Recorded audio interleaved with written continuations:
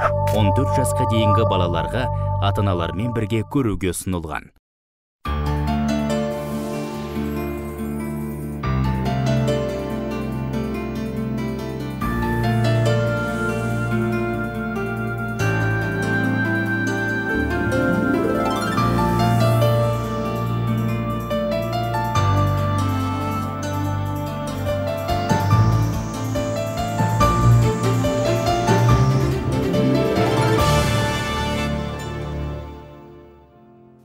Қазақтың ұлттық университеті журналистика факультетінің тамыры тереңде.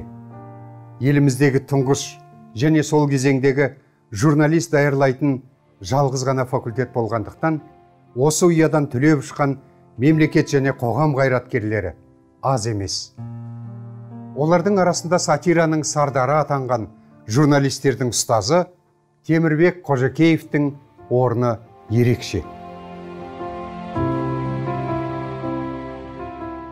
Темірбек қожекеұлы қожекеев жалпы қазақ журналистерін тәрбиелеудегі үлкен тұлға қайталанбайтын тұлға деп айтуымызға болады. Өйткені көптеген осы қазір бұқаралық ақпарат құралдарында қызмет атқарып жүрген азаматтардың көпшілігі темкенің шәкірттеріміз дейді. Темкенің тепкісін көргенбіз деп айтады. Өйткені темірбек қожекеұлы он жеті жыл декан болған екен. Ең журналистика факультетінде ұзақ жыл декан болған адам осы темкең ол кісі негізінен мынау бірнеше қыры бар. Кезінде темірбек қожекеұлы жайлы сол мақала жазып сөз сөйлетін кезде менің бір өзімнің ойланып толғанып айтқан бір сөзім бар. Бұл кісі көп қырлы адам. Қырлары ашылғанмен сыр ашылмаған жан деп. Олай дейтініміз темкеңді білмейтін қазақ аз. Ол кісі аты аңызға айналған журналистер ақсақалы. Одан енді шәкір, тәлім алған да алмаған да қожекеевтің фамилиясын естігенде мырс етіп күліп ол кісінің айтқан ә, не бір тапқыр сөздерін осының іскерлігін оның басшылық ә, қабілетін көпшілік біледі. Ғалым филология ғылымының докторы профессор қазақстанның еңбек сіңірген қызметкері темірбек қожекеев 1926 жылдың 17 желтоқсанында жамбыл облысы меркі ауданы ойтал ауылында туған. Оның өнегелі өмірінің әрбір сәті кейінгі ұрпақ зерттеушілері үшін таусылмас тақырып болары анық. Мен осы елдің перзентімін осы жердің бір шымшым топырағымын осындағы мынау салқын самал соғып тұрған таза ауаның бір жұтым бөлігімін осы меркенің сарқырап таудан төмен ағып жатқан өзендерінің бір тамшы суымын. Бұл кісінің туралы көп айтуға да болады әртүрлі қырынан да айтуға да болады. Адам ретінде ұстаз ретінде ғалым ретінде айтуға болады. Бұл кісі өте күрделі кісі болатын мінезді кісі болатын. Енді адамды адам қылатын да ә, оның барын болмыс жарқыратып көрсететін мінезі ғой. Бұл кісі мінезді кісі болатын. Ең алдымен бұл кісі адам ретінде өте әділ. Ә, барлық мәселені тура айтатын бетің бар жүзің бар демей принциптің адамы темірбек қожекеевтің талапшылдығы туралы тараған аңыздар аз емес. Оның темірдей тәртібімен тәрбиеленген шәкірттері әлі күнге дейін темкеңнің тепкісін көргенбіз деп мақтанады. Өзі қатарлы бірге жүрген басшылардың зерттеушілердің ішінде бұл кісінің энергиясына таңданбайтын адам жоқ болатын. Ертеден қара кешке дейін керек болатын болса жаңағы өзінің кабинетінде отырғанда не түскі тамаққа не дәлізге шығып не болмаса дәретханаға барған бірде бір адам осыған дейін көрмепті. Қанша жыл жұмыс істеді казгуде басшы болып елдің алдында көздің алдында. Сондай ә, таң қалады яғни ә, содан кейін кешкісін көрсеңіз жатақханада жүреді. Жатақхананы тексеріп. Ертең азаннан сағат жетіде балалар сабақтан қалмау керек деп жаңағы баласы мәдет дейтінге машина айдатып таң сәріден жатақханаға келіп студенттерді оятып оқуға жіберіп кейбір сас, сиыр сәскеге дейін жататындарды ә, тиісті жазасын беріп сөйтіп тәртіпке шақыратын. Содан да ол бәріміз темкеңнің тепкісінен шықтық деп сөйтіп отырады. Мынау қазіргі біздің ақпарат құралдарының басында отырған небір аузымен құс түстейтін мықты журналистердің өзі. Енді бұл кісінің э, ұстаздық қызметіндегі атқарған жұмыстары кей кейбір әрекеттер іс әрекет аңыз болып кеткен. Мысалы сол кезде э, журналистика факультетінде 500дей студент оқиды сонда 500 студентті түгел таниды бұл ал қазір ондай жоқ қой. Жоқ. Қазір 500 студент түгіл мұғалімдер өзінің сабақ беріп жүрген алдындағы бір 20-30 студент танымайды. Ал бұл кісі түгел таниды солардың тәртібін қадағалап үлгерімін қадағалап барлығын бес саусақтай кім қандай жетістіктерге жазып жатыр кімнің қандай мақаласы кімнің қандай өлеңі шығып жатыр соның бәрін қадағалап соны неғып отырады енді ә, жұмысқа берілген болатын аянбайтын өзін де аянбайтын өзгелерді аянбайтын таңертең ә, сол сағат ондардың шамасында келетін бұл кісі. Сол кешкі беске дейін тапжылмай отырып жұмыс істейді. Бұл кісінің кабинетінен басқа жаққа шығып тек ректораттардың сондай жиналыстарға сабақтарға шығатын қалған кездерде сол ә, шаршағанына қарамай жұмыс істейді тіпті бұл кісінің сол жұмыста жүріп кәдімгі асханаға барып тамақ ішкенін көрген адам жоқ. Сабағының үстінде бәрін күлдіріп бәрін бір сондай ә, теорияның бүкіл сенің зейініңе бүкіл жаныңа сақтай отырып соны енгізе отырып бұл кісі керемет бір дәріс оқиды ол кісінің сабағына кешігетін бірде бір студент болмайды барлықтары уақытында келеді түгел қатысады кейбір әлсіз сабақтардан мысалы қашып кетеді ғой студенттер психологиясы белгілі ғой. Ол кісіде жоқ бізде ондай қасиет болған емес. Ол кісінің әрбір сабағына сондай біз зейінмен келетінбіз. Яғни ол кісінің аудиторияны жаңағы меңгеруі адамдардың жаңағы өзінің алдындағы шәкірттердің психологиясын меңгеруі ол кісінің сабақ жүргізудегі әдіскерлігі дегеннің бәрі бұл ең жоғарғы деңгейде болады тұғын сол себептен де біз ол кісіні сол кезде бағаладық. Өте бір керемет қадірлі ұстаз ретінде ол кісіге өзіміз үлгі тұттық. Әрдайым сөзі ісіне сай жүретін темірбек қожакеев өзгеге қойған талаптардың бәрін әуелі өзі орындады. 1947-48 жылдары меркі аудандық комсомол комитетінің бөлім меңгерушісі қызметін атқарған ол айрықша ұйымдастырушылық қабілетімен танылады. 1953-72 жылдары қазақ мемлекеттік университеті журналистика факультетінің оқытушысы аға оқытушысы және доценті болып қызмет етеді. Одан соң ұзақ жылдар бойына осы факультеттің тізгінін ұстайды. Мен өзі колхозда колхозшы болып шөпті шөп жинаушы болып істеген адаммын. Содан кейін колхозда тәбілшік деген болады учетчик болып істеген адаммын. Ал содан кейін армияға бардым. Армиядан кейін бес жыл оқыдым осының бәрі менің стажыма кіреді екен. Сонымен жалпы еңбек стажы мен елу екі жыл болыпты. Соның қырық сегіз жылы университетте өтіп жатыр екен. Бес жылын оқыппын қырық үш жылын ұстаздық жұмыста жүретінмін сол кездегі мен егер жаңағыдай ә, журналистика факультетінің енді мынау қазақ бөлімінде оқығандар болсын орыс тілінде оқыған ә, студенттер болсын сол кездегі бітірген түлектерде әлі күнге дейін айтатын бір ә, нәрсесі бар. Ол жаңа сол кезде мынау журналистика факультетінің беделі өте мықты болды мынау ә, қазақ ол кезде қазақ мемлекеттік университет деп аталады. Сол өте беделі мынау ә, болашақ журналистер десе жаңағыдай мынау ә, мен өзім де сол кезде студент болдым. Сол бұл сол жаңағыдай темірбек қожакеев журналистика факультетінің беделін өте жоғары деңгейге көтере білді. Көтере білді. Сосын бұл жаңағыдай бұл ұйымдастырушылық жағынан жұмысты ұйымдастыру жағынан енді ә, сабақты ұйымдастыру білімді ұйымдастыру жағынан келгенде өте бір сондай бір тәжірибелі өзі, өзі мына ұйымдастырушылық қабілеті өте мықты болатын.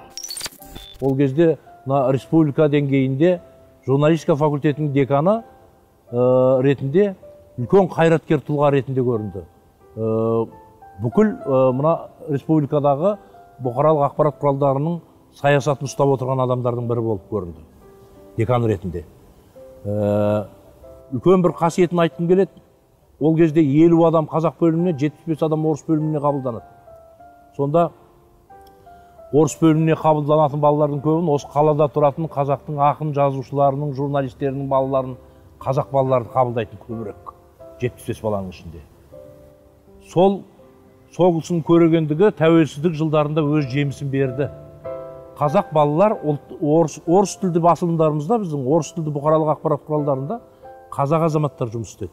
Міне бізде ә, жаңағы тәуелсіздігіміздің ә, бір кедергісіз қиындықсыз өткеніне темкеңнің бұл сіңірген үлкен еңбегі көрегендігі деп есептеймін. Бұл кісінің енді ә, ұстаздығы жаңағы адамгершілігі осының барлығы бұл кісінің ә, жеке тұлға ретінде көрсетті. Қожекеев деген кәдімгі қожекеев келе жатыр деген кезде жатақханада да тәртіп болды факультетте тәртіп болды. Университетте он шақты факультет болса сол журналистика факультеті соның ішінде ең ал үздік алдыңғы қатар оқу жөнінен тәрбие жөнінен де сол алдыңғы қатарда жүрді. Соның бәрі осы кісінің еңбегінің арқасы ал енді өзімнің ұстаз болғаныма өкінбеймін. Алты мыңға тарта журналист кадрларын даярлаттым. Бұлар менің үлкен мақтанышым. Ел көп жазған романдар мақтаныш етсе мен осы алты мың шығарған тәрбиелеуге үлес қосқан журналистерімді мақтаныш етемін.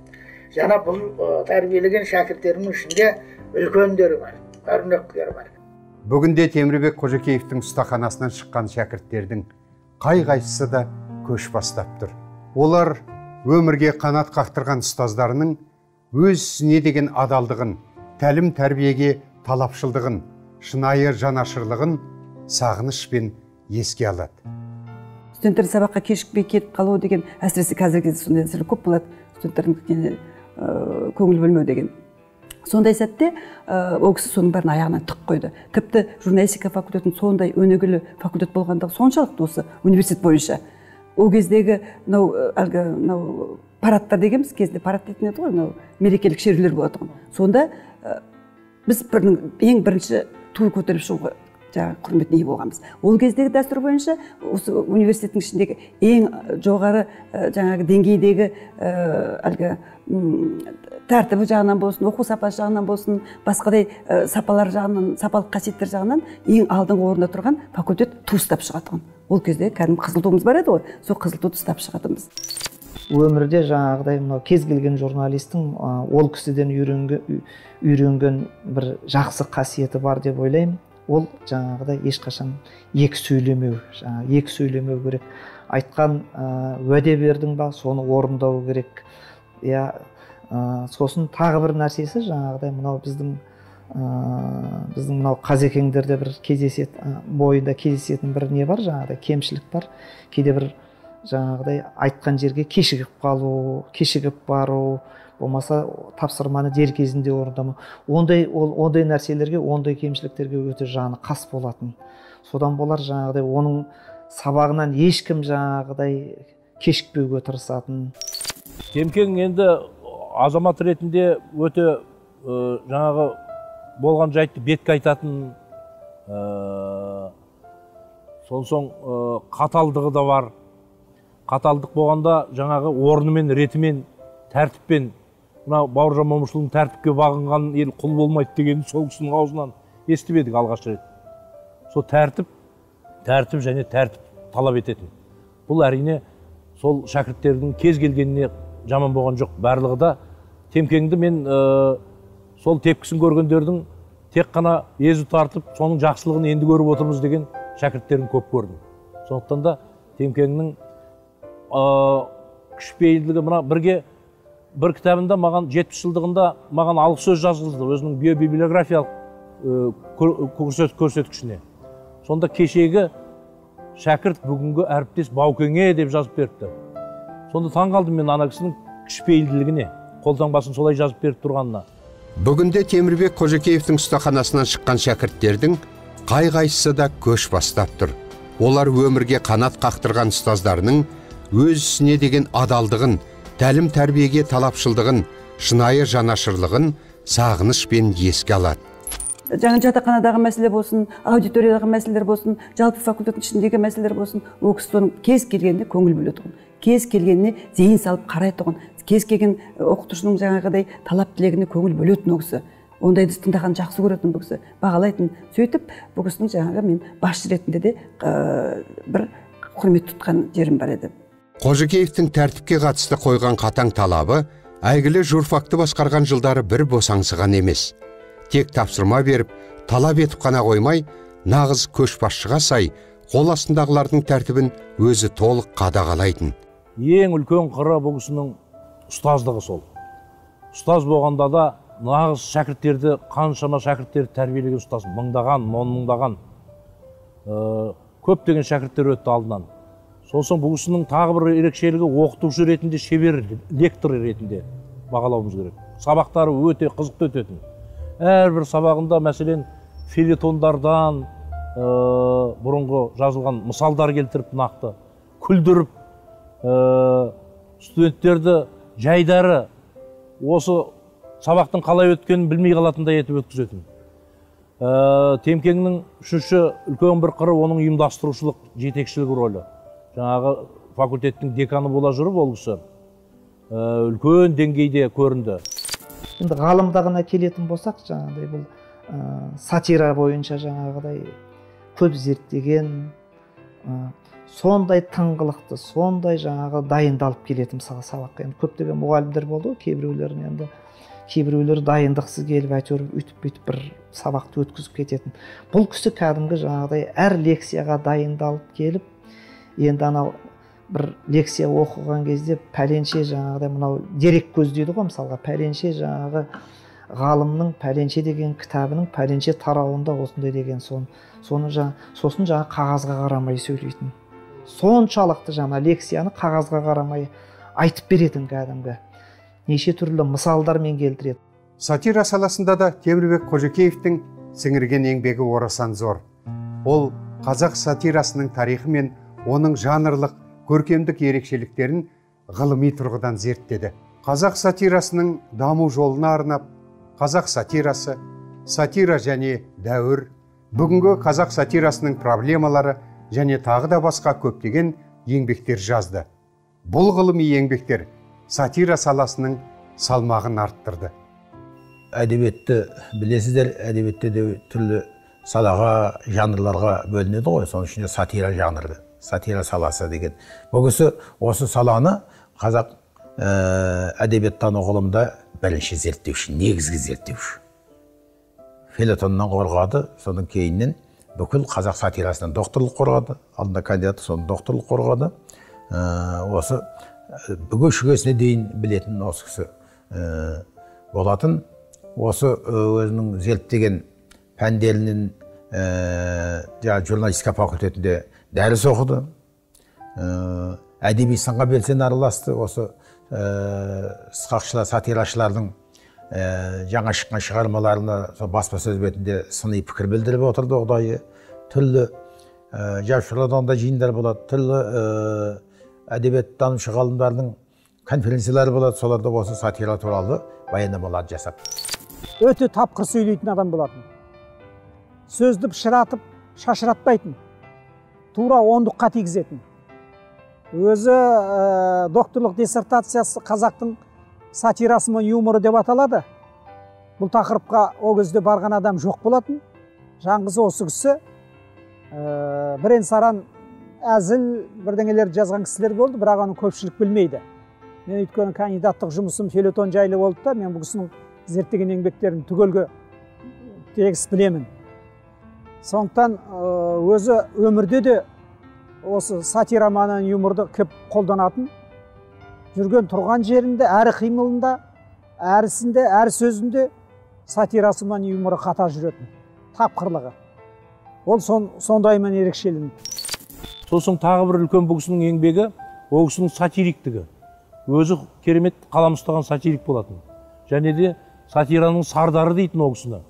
Қазақстан жазушылар одағында найзагер деген сатира қауымдастығын құрып сонда ол кісі бүкіл мына сатириктердің басын қосып жиналыстар өткізіп отыратын жиындар өткізіп отыратын және мына ара журналының шығуына редколлегия мүшесі болып үлкен қызмет етті. Сонсоң бүкіл асқар тоқмағамбетовтен бастап жүсіп алтайбаев османхан әубәкіров ғаппас қабышев ә, қазіргі көзі тірі үмбетбай уайдиндер көпен әмірбековтерге шейін әрқайсысының сатиралық шығармаларына бағасын беріп отыратын. Өзінің теориялық еңбектерінде батыл сынайтын кемшіліктері болса. Жарасқан әбдірашевтердің эпиграммаларын еркін жаппасұлылардың сатираларына шейін толымбек әлімбекұлының шығармаларына шейін ермахан шайхұлының шығармаларына шейін кітаптарына еніп кеткен еңбектеріне еніп кеткен. Міне бұл кісі сол сатираның барометрі сияқты болды сатира жанрының мұғалімнің шеберлігі оның дәріс оқыған сәтінде танылатыны хақ.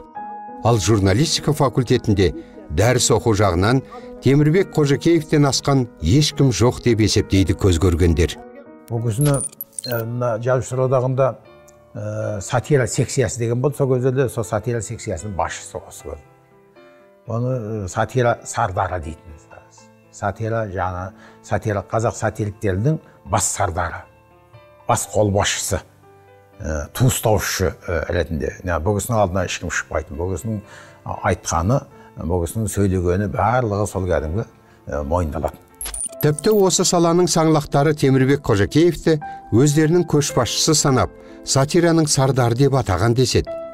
Оған себеп темірбек қожакеевке дейін сатира саласын толыққанды зерттеп ғылыми негіздеген ешкім болмаған. Ол кісі енді жаңағыдай сатираман юмордан қорғағанның өзінде қазақ баспасөзінің тарихына байланысты қазақ әдебиетінің тарихына байланысты. Жалпы тарихи мәселелерге байланысты ә, сол салада қорғап отырған небір ә, кандидаттық докторлық диссертацияларды талқан шығарып талдап кемшілігін көрсетіп ә, сөйтіп беретін. Өйткені біз бір диссертациялық кеңесте болдық. Ә, диссертациялық кеңестің төрағасы академик қабдолов болды. Соның екі орынбасары болды біреуі мен едім сол.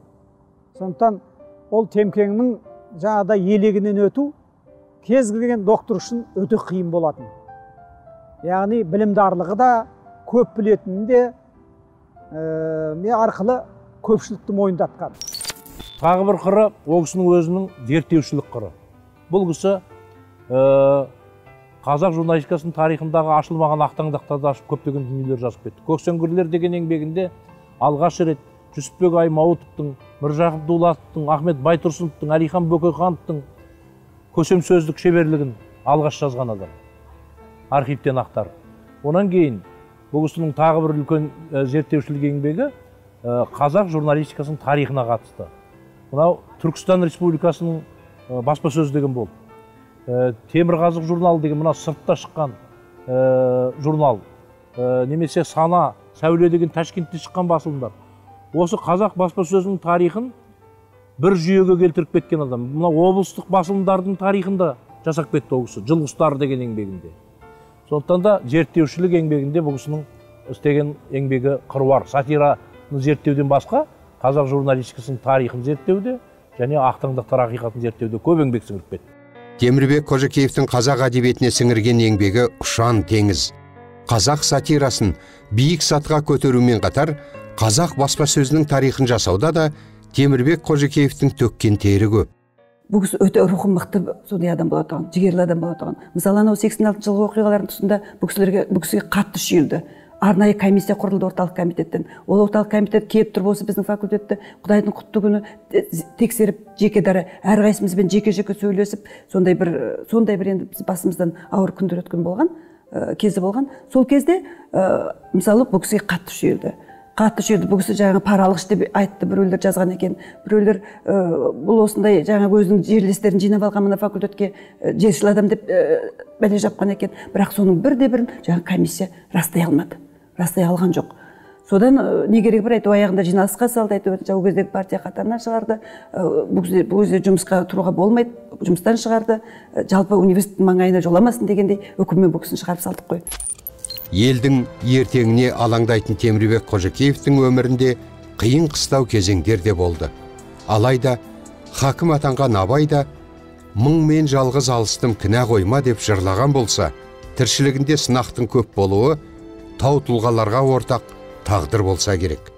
Сондай сәтте сондай басынан қиыншылық өткен кездің өзінде бұл кісі ұлттық кітапханада анау заңғарлар көксеңгірлер деген сияқты ғылыми зерттеу жұмыстарымен айналысып соны жазып шықты бұл оның ішінде жаңағы алаштық азаматтардың өмірін солардың жаңағы ғылыми жағынан зерттеп шықты бұл кісі. Енді мен мысалы сол кезде өз басым диссертация қорғалып жүрген кезім еді.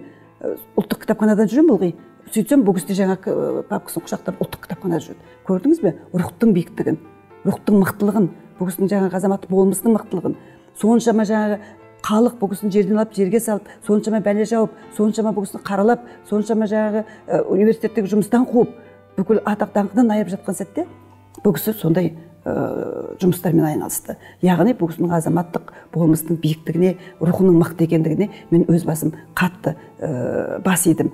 Дегенмен кез келген сынақты сабырмен қарсы алып ұлт мұраты үшін ұстамдылық таныта білген азаттық жолында азаматтық танытқан темірбек қожекеевті кейінгі ұрпағы нар тұлға деп таниды. Отбасында да өте үлгілі әке болды ол кісі үлгілі жаңағы жар болды бұл кісі. Ол кісінің баласы қазір ұлы бір жалғыз ұлы болған. Ол кісі ол кісі қазір үлкен баспа ашып ә, сондағы қызмет істеп жатыр. Өзінің әкесі туралы өте үлкен жаңағы қомақты көлемде еңбек жинап жазып шықты.